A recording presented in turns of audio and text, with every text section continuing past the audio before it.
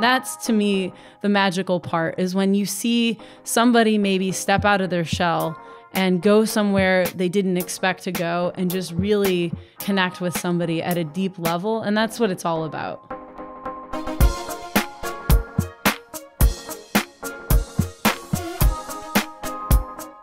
Scratch Entrepreneur True stories of remarkable people who dropped everything to turn an idea into a healthy, profitable business.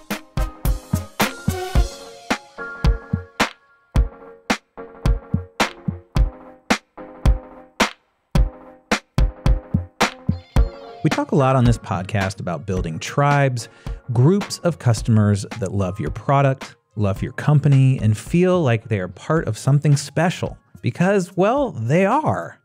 The tribal metaphor has always worked in my mind for two primary reasons. One, if you have a community of raving fans, then you must be doing something right.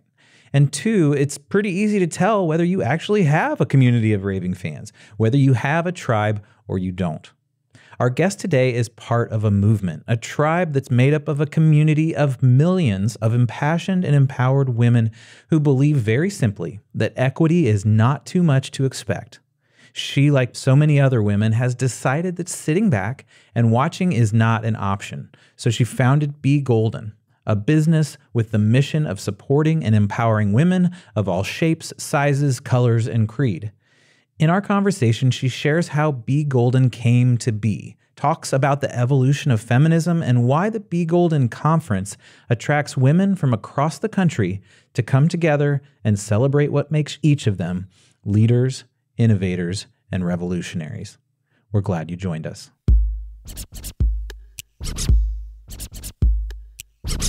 Hey, this is Jeremy Goodrich, owner of Shine Insurance Agency and your host for the Scratch Entrepreneur Podcast. I'm here today with Sarah Perfetti. She is a, one of the founding members of the Be Golden Conference, and we're going to talk today about the conference. It's happening October 4th through October 6th. So if you're listening to this before that time, you can still get tickets and, and connect with that conference. So, Sarah, thank you so much for joining us. Yeah, thank you for having me. So, Be Golden is all about women's empowerment. It's empowering women of all kinds. Can you talk to us a little bit about how that came up? How did that spark start for you? So, the whole concept of a women's empowerment conference came when me, Chelsea Sanders, and the third co founder, Kate Keith, who's no longer a part of Be Golden, but shout out to her because she did help found it. Yeah. Um, we were all having dinner here in town at the Owlery, and we were talking about doing something that would give back to women on a big scale. And it was at the time of the last presidential election, soon after our president said something about grabbing a woman somewhere. Yeah. And soon after that, there was a rally for Trump. Um, I can't remember. It was in a swing state and it was at a big convention center. And NPR went and interviewed a woman either before or after this rally. And they had asked the woman, you know, after Trump's remarks about alleged remarks about women, like, why are you here as a woman to support Trump? And her response was something on, along the lines of, well, as a woman, I can say this, and I don't feel like women should hold office. I don't feel like women should own businesses. She was like, uh, women are very emotional, men are more logical, and I really think that women should just be the support of men to lead this country. And I heard that and I was like, that there's something so wrong with our society to have somebody voting age say something like that. That's so upsetting. And I'm not going to dig into politics about that, but just the idea that a woman can't lead was really upsetting to me. So the three of us are sitting and having dinner and thinking about what could we do for women with all of this stuff going on um, so many negative things about women, women having body positivity issues. And not to say that men don't have these same things, but we're all women. So we're mm-hmm. sitting there and we were thinking, what can we do that would provide a high impact opportunity for women? And we were initially thinking, like, oh, we could do retreats. Like, 10 to 15 people retreats, go around the country, surrounded around a certain topic, bring in some speakers because we're not really the experts on these things. Yeah. Bring in like an expert speaker. And then we move from, well, that's only like you know, 10 to 15 people a time, how many of these are we going to have to do throughout the year to really make a big impact? And then it went to, well, what about we have a conference or a festival or something? So Be Golden came about. So Be Golden is really the umbrella company for the Be Golden Women's Empowerment Conference. Things to come in the future. We're not ready to say all that yet, but right Sure, now we yeah. have the Women's Empowerment Conference, and we're so proud of it. We're going into our second year. So it really came about as a way to connect women, to provide community, mentorship, give women the tools. And that's our mission to give women the tools to spark the change they want to see in themselves and the world around them. So we want to impact the person on an individual level so that they could be good for themselves, thereby giving back to their community in whatever way they define that. the 2016 election and some of the things that came after were certainly uh, a spark, but it isn't the beginning of when women have been either put in or kind of self put themselves in a certain spot in society. How do you see the evolution of women empowerment and women's roles? Roles is such a loaded word, though, Yeah. in our culture and how it's changing. Well, I think we really stand, like, at least for Be Golden, that in gender equity. So mm-hmm. we're taking the gender, female gender, and recognize that there are more than two genders. So if somebody wants to come to Be Golden as an ally of women or the feminine experience, a man or a trans guy, anybody who wants to support women and the female experience could come. I'm not like a gender studies expert. My actually my sister is. She got her PhD in gender studies and female literature, but I think with social media and just like quick access to video and online discussions, a lot of issues, not just um, feminism and and movements like that, but any kind of social movement um, has been easily accessible to people. So I think the idea, I'm not sure what wave it is, like the second or third wave of feminism, the idea of burning bras and armpit hair and rallies is a little bit different from what feminism looks like today. For Be Golden, we're just looking at equity,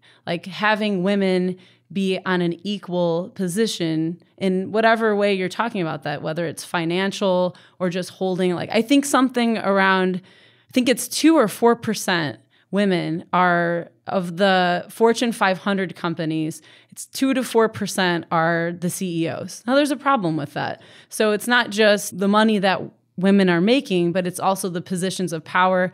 Look at our representatives, you know, majority of them are men, and we're also trying to be a space that includes other minorities within like the the umbrella of women. So we're trying to have a space for queer women and women of color and other people who aren't often recognized because feminism is often thought of as a white, straight, heteronormative experience. So, I mean, I am a white woman, I'm not straight, but I'm trying to expose and you know that's what we're doing. We're trying to have other women have their voices and give them platforms to be heard and things that i can't maybe necessarily relate to because of who i am.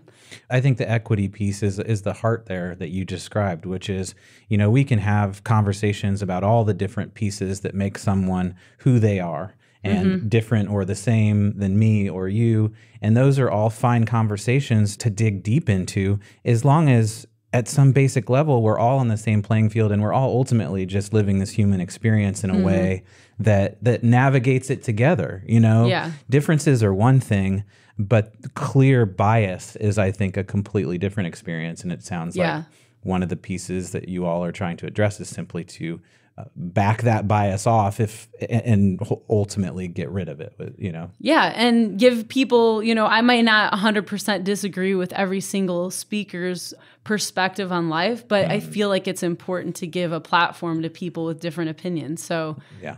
A personal experience though, Mackenzie, my wife, went last year and Yeah. really enjoyed every element of it. She felt like she could show up, and there were all these other wonderful women of all different backgrounds. You've done a wonderful job of bringing folks of all different backgrounds and purposefully creating diversity in the space.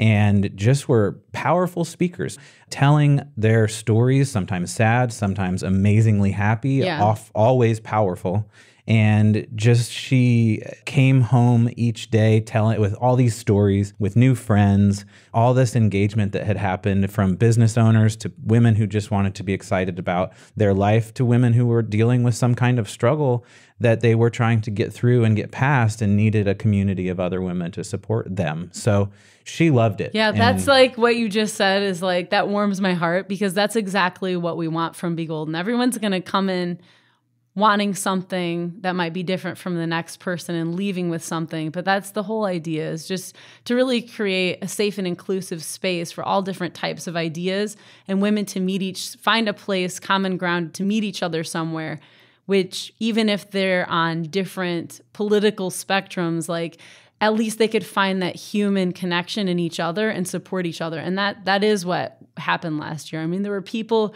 who were so different from each other but then they had both gone through like sexual abuse or something. So they related on that and all of their differences were washed out the window and they could really connect cry hug and that's the kind of thing that we want to do. We want to build community through that. Yeah, and I think you're doing that. It, that just grows, and it's a space that obviously I don't have a ton of experience, but last year my wife's experience was just it's a space that's really safe for women to engage in this conversation. that's the goal So uh, we're going to go to break really quickly, and then when we come back, we're going to dig into politics just for a second. Only really because just like big things happening in the political world right now, uh, the Me Too movement and some of the uh, stuff going on with Supreme Court. I just wanted to get your sense on it and where Be Golden kind of falls into how you handle these really important pieces of the female world, I guess, or uh-huh. just the world as a whole that women are just having to experience.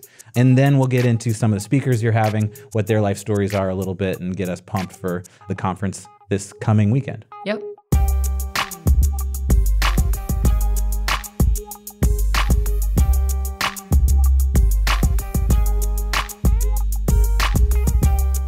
Can a guy be a feminist? Like, Yeah. I think that I've been, you know, pro the women's movement for as long as I've been an adult. My dad's an evangelical Christian minister, and so I'd been sort of inundated in Yeah. that world. And then I turned 16. I heard Pink Floyd. I was just like, this isn't me, you know. And so Yeah. this uh, this huge shift in me as a human being happened. I'd say I'm the same person at 42 as I was at 16 from a philosophical perspective. Yeah. Like it all happened right there. One piece of it was really, I've never loved being a white male, you know, and it's like all the baggage that, which sounds Yeah. so stupid. It's like, I've never loved being the one who doesn't have to deal with all the bullshit. You know, you like can't say that because it's stupid and it's not a legitimate, I don't connect with that, the culture of it. Or maybe it's just there isn't, for me, there isn't a culture. Yeah. Well, and that's why we say this is open to, we say women and our allies. So allies Yeah. can be anybody who supports women. Yeah. If it's a dad coming because he has young daughters, or a husband coming for his wife, or a single guy who's friends with a bunch of women, or sees things going on in his workplace and just wants to sit back and learn or ask questions and engage. Like that's that's really the essence of it because it is a women's empowerment conference, but that's why we say women's empowerment. So who wants to empower women? Yeah. I mean, a lot of people probably do, hopefully. Well, and, And, like- allies for all groups of people who are trying to get rid of bias and get rid of, you know, some of the ugly stuff that's a part of our culture and, and Yeah. human nature. Like the allies have to be there. They can open doors more easily. I mean, is that just a reality? Well, Or- collaboration, I think, is just a healthy, ha- like Yeah. a good thing. It's getting more people on your side, you Mm-hmm. know, whatever your side is. And if it's like women's empowerment and equity, Yeah. and going back to what you said about can a guy be a feminist? Am I a feminist? Like, I think anybody, just simply feminism, I know, like, theoretically, there are different, I think there's four different waves of feminism Yeah. the first wave is women's rights you know women get, getting the right to vote Yeah. and right. then the second wave i think was like the 60s 70s time which Mm-hmm. is often viewed as what feminism is the burning your i bras. think kind of blah, yeah. mistakenly but Mm-hmm. but definitely like an important movement and i think Mm-hmm. this might be like the third wave where now it's just like feminism is what you make of it so if you know me dressing like this if that's feminine then that's feminine you know Mm-hmm. Right. Yeah. if you saying like i want my wife to you know be proud of how she looks and you know come to work with confidence working in maybe an insurance running an insurance agency might be a male dominant business. Well, you know, Definitely. thumbs up to her for being in that kind of you know playing field and then you're just Yeah. like we want to be equal like i think anybody who's giving a thumbs up to equity and women are not equal right now and it's not women going above men it's like equal you know Yeah. we're bringing equity It's fair playing field. well, I think another thing that gets confusing with feminism and the term fem is that some people then we're thinking it kind of on the gender binary. So only acknowledging that there's men and women. And mm-hmm. that has been hard for us to come up with our language and how we want to communicate this because it's a women's empowerment conference. But if you don't identify as a man or a woman and you're somewhere around that, somewhere else on the spectrum, we want this to be a conference for you too. But we're really taking the edge of or the side of like, we're here to empower women and whoever you are if you empower if you support women then you are part of be golden too It sounds like the highest level of your aspirations are equity. Yeah. Peri- Period. yep You know, and you're then exactly spot on we get into for your this conference females is your focus Mm-hmm. and people who identify with female or who are allies to females or whatever that means to the person who's seeing be golden Mm-hmm. Yeah. as a conference and it seems like every phase that you described is an attempt towards equity yep and, exactly and yeah so no attempt is going to be perfect and no attempt is necessarily going to succeed 100%. percent Mm-hmm. But when you see women getting the right to vote, obviously that's a huge piece that Mm-hmm. changed the way that our culture works. When you see women now saying in the 60s, look, we're we're not just going to be the housewife if we Yeah. don't want to be. We're not going to just, you know, make way less than a man doing the exact same job. Here's the things that we're saying we are we want fixed and we want them now yep and that's just asking for equity you know Yeah. and that's reasonable and then now with women's movements at this phase and the me too and, and all the things that are going on they're saying look there's some ugly stuff in the closet still and it's not okay and no Yeah. one should have to keep something quiet that happened to them because some man felt empowered to do something terrible Mm-hmm. so that's the next phase it's like if every phase is we just want our lives to be as good as anybody Yeah. else's like it seems pretty reasonable and not to be taken advantage of yeah Yeah. exactly So I wanted to just real quickly get your take because in the political world, there's a huge thing going on in Supreme Court with Christine Blasey Ford coming out and really telling her survival story in front of the world and certainly the United States. How are you all handling the the Me Too perspective on women's rights? Yeah. So, looking at our schedule, we have made sure to program uh, some sessions that reflect that, that provide a safe space for women to who may have been or know somebody who has been affected by a man violating her or a person violating her. Really, it could be another woman violating her. So we have two sessions that fall under the Me Too movement topics. Um, we have a session called Sexual Abuse and Recovery, and we're bringing in a speaker from New York who has suffered that personally. And it took her, she learned through her own experience how to m- navigate through that and recover, not just tolerate it, but actually recover from it and become the healthy person she wanted to be. And she wants to give back by creating a space for other people to do that. Yeah. And so we've made sure that anybody coming to that topic, they don't necessarily have to like out themselves, I guess, to say like I have been a victim of sexual abuse if they're not ready to. Right. But maybe their best friend has or their sister has or their mom has and they really aren't sure how to recover with them in that process because mm-hmm. it affects the victim obviously but it has a trickle effect on the relationships outside of them. So this workshop is really structured to do that. It's to talk about that. It's an open we call use the term living room style conversations so that it does feel relaxed comfortable um, safe for people to share their stories if they want or sit back and listen and just learn. Yeah. and then the other um, session that we have is a six minute short film called Lamb. And it's about women help pretty much escorting other women to be abused by a specific man. So it's a short film, it's 6 minutes, but it really will charge the conversation that follows it. Mm-hmm. And it's a Q&A with the film director and the film producer talking about it, Me Too and talking about, you know, current political issues that women are affected by that. So we've created a space that there are options for people to attend sessions that talk about that. Yeah, it seems like if you've experienced violence in any way, especially yeah. violence that you feel like you can't share. Yeah. You feel like you can't share, you feel like you can't prove. Like there's so many pieces to that particular type of violence that women experience. And to be able to, even if you don't want to tell your story, to be able to hear someone else's story. Yeah. To be able to know that your inner conflicts and inner, you're not the alone in yeah. that process. And then if you do decide you want to address it however you choose to address yeah. it, you know, whether that's coming out and trying to address the perpetrator and deal with the situation or just deal with it inside yourself so that you can move on with your life with peace or mm-hmm. change the culture in some way or change the laws in some way, whatever it is. Yeah. Knowing you're not alone.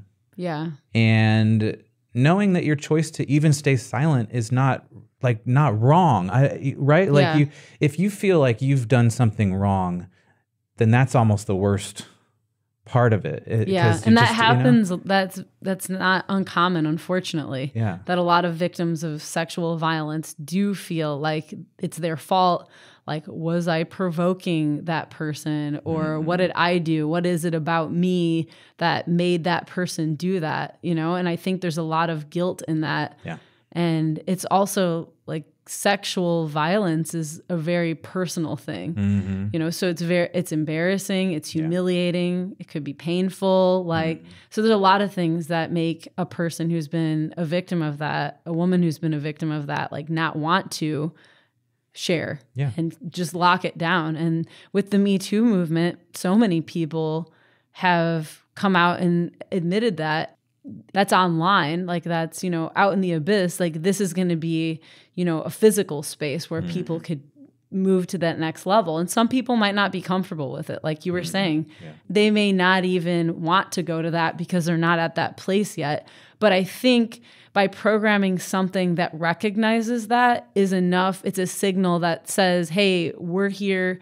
We recognize you. We've created a space for you. You may not want to be near this because you're not ready for it, but that's okay. Like we're recognizing that. Yeah. And then there might be people who've maybe recovered it and they want to come and share their story to mm-hmm. be a light for other people who are going through it that's one element of the conversation. There's obviously lots of different elements. So yeah. when we come back, we're going to dig into some of your speakers, where they come from. You're going to tell a couple of their stories so we mm-hmm. can get pumped about the conference and uh, go from there. Does that sound good? Perfect. Okay, cool.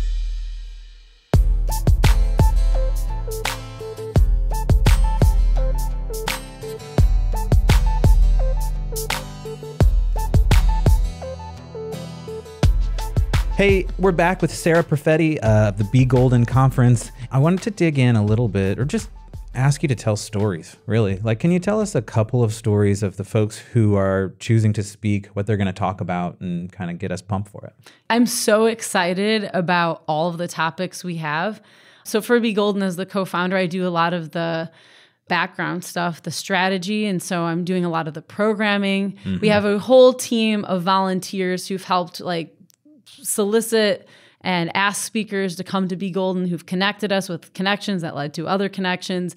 And I've personally made a point to speak to about 99% of our speakers have mm-hmm. at least a 30 minute phone conversation or in person conversation if they happen to be local. Yeah. And getting all of those stories and hearing where they come from, even if it's a topic that I'm like, oh, I'm not really doing that. So, you know, this is a topic for other people. But then meeting them and learning their stories have just been so amazing. Yeah. So I'm so excited to see all these people here, like crunched into three days. Yeah. And then also see how they interact with all of our attendees and the relationships that come and like really for Be Golden being in its second year, we're still small. So the positive side of it being small, one of the biggest benefits if you're a speaker or an attendee is that you really do get that like intimate connection with people throughout the weekend because all of our sessions are designed to have that openness and intimacy. So they're designed to be between 10 and 25 people. So we're not going to have like 200 people sitting there. There's going to be like max 25. We intentionally d- designed it that way. Everything's in smaller venues around town. Yeah. So you really can't go beyond that size. So we were talking about some of the more heavier things yeah, yeah. Um, before the break and some of the lighter topics. We have one that's called Unleash Your Joy Potential, and it's led by a local life coach. Mm-hmm. And that's really just going to be a lighthearted and fun workshop for people. It's going to be very interactive for attendees. So everything yeah. is like designed that you're not going to be lectured yeah. at for 60 minutes. You're really going to move around. They're going to be, you know, learning things. You're going to take quizzes. You're going to talk to people. You're going to share your story if you're comfortable. She's not going to be doing this for Be Golden. She also does laugh yoga. So on the lighter side, that's going to yeah. be a really awesome thing. We also have a topic called communicate better in 10 words or less. So it's like mm-hmm. communication, whether it's for your company or just like maybe for your relationship at home, learning yeah. how to communicate with different people, or if you manage a team, how to communicate with that team. One of my favorite people who's coming to speak, she spoke last year. Her name is Kristen Olson. And it's kind of like a long story of how I met Kristen, but Kristen has just been such a gem in connecting me and Chelsea with so many people. Cool. A lot of our attendees are somehow connected with Kristen Olson, and mm-hmm. we call her KO because that's her nickname. But KO's background, uh, she she lives in Denver. She played lacrosse in college, so she's an athlete. Mm-hmm. Chelsea and I were both swimmers in college, so we all have that with Kristen. We're about the same age she's involved in so many things. She has lots of side hustles, which I could totally relate to. yeah, and totally. so on the personal level, like KO and I get along really well, and. Yeah. She is part of a lot of things. One of them is she has KO Alliance, which is a bunch of brand influencers, mm-hmm. and a mm-hmm. lot of them happen happen to be in athletics, athletic gear, health foods, like kind of that realm, yeah. the health and wellness realm. And then she also um, started this thing after the election called Formation Tribe. And it's a connection, it's just an online thing. There's no like membership. You have to be invited, but it's a connection of women throughout all over the US. Cool. Yeah. And one of the women who's not going to be at Be Golden this year, we were trying to get her, but she's in training. Um, mm-hmm. She won a silver medal. Her name is Lauren Gibbs. Mm-hmm. We call her Gibbs, but Gibbs won the silver medal in the bobsled team this year in the Olympics. So KO has connected us with so many people. We have like I said, about eight people, eight different speakers who are kind of like if we drew a chart of all the connections, like somehow a lot of them lead to KO. Yeah. We have five tracks at Be Golden. Yeah. So all of our speaker sessions fall under actually at least two of the tracks mm-hmm. because they all fall under leadership and then usually something else. Yeah. So we have brands and marketing, yep. and that's really uh, dedicated for people who are maybe they're freelancers or they're working for a small company and they want to learn, you know, what is branding? Is it just a, a, lot of people mistakenly think of it as just a logo, but it's a lot more than that. It's the way mm. you communicate your business. Yeah. It's your motto, it's your fonts, it's your colors, it's what kind of presence, what kind of market. So we have um, sessions under that topic. So brands and marketing, then mm-hmm. entrepreneurship, which has a lot to do with like, you know, your podcast. Being a business owner. Yeah, yeah being absolutely. a business owner. Yep. And we have a lot of women who are business owners and mm-hmm. who've been doing it for 20 plus years and some who are just like thinking about it. And it's really in the idea stage. Mm-hmm. And then we have the third topic is health and wellness. So health and wellness isn't just uh, the physical part of it, but it's also the mental and emotional aspect of that. Yeah. And we have workouts on Saturday morning and Sunday morning at 8 a.m.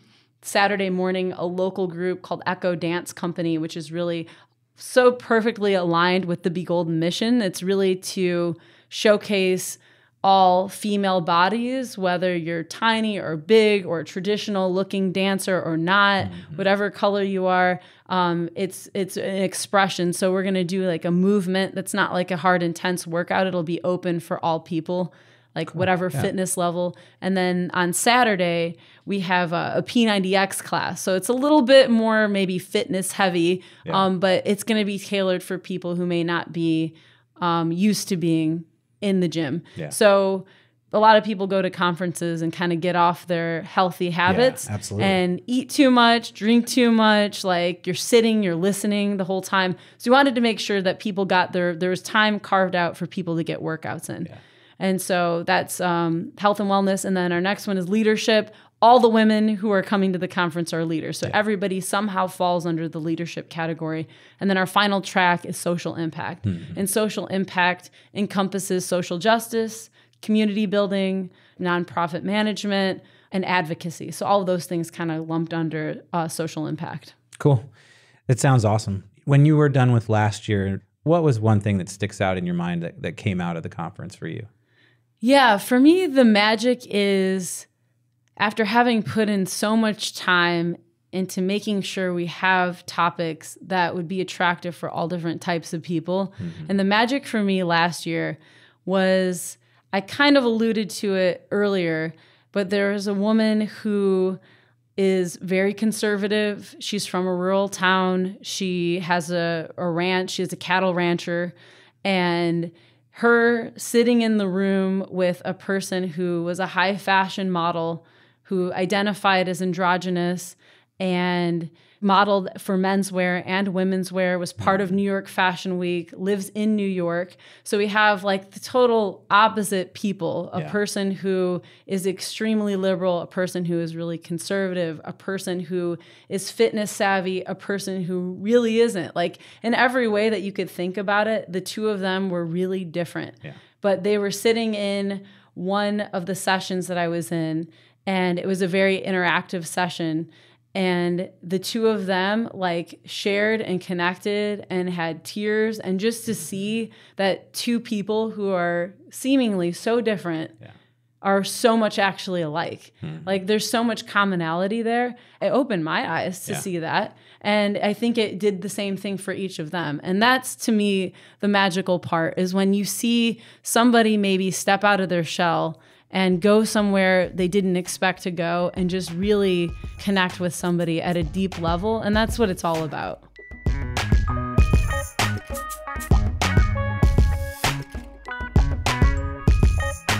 Take 30 seconds a minute and describe to someone who's listened to this episode and thought, you know, I want to I want to go to this conference or even if you listen to it after this year's conference happened, you know, looking at going next year or just connecting with the people that were there. How can folks connect with Be Golden? Yeah, a bunch of ways. Um, first, our website, begoldenstaygolden.com. And we have all of the information there. We have we have presence on all the social media platforms. So Facebook, Twitter, Instagram, the main ones. Uh, all of those handles are on our website. It's Be Golden, Stay Golden is the handle to follow us. And that's where we promote all of our information. We also launched in April a workshop series. So, aside from the conference, we're doing, if you think of them as kind of like a mini conference, we're doing that around in different cities, not just in Bloomington. So, we're coming to where the speakers live and collaborating with them to put on a topic that's focused around one thing. So there's other things outside of the conference. If people happen to miss it this year, they could pop into one of our workshops, check it out, and then maybe come to the conference in 2019. Sarah, it's been awesome just chatting with you. Yeah, it's I been think great. that what y'all are doing is really amazing and I love seeing tribes come together. Yeah. You know, and I think that's what you're doing here is building a tribe and moving folks forward in a, a really awesome way. So thank you for taking the time to join us on Scratch Entrepreneur. Yeah, thank you so much.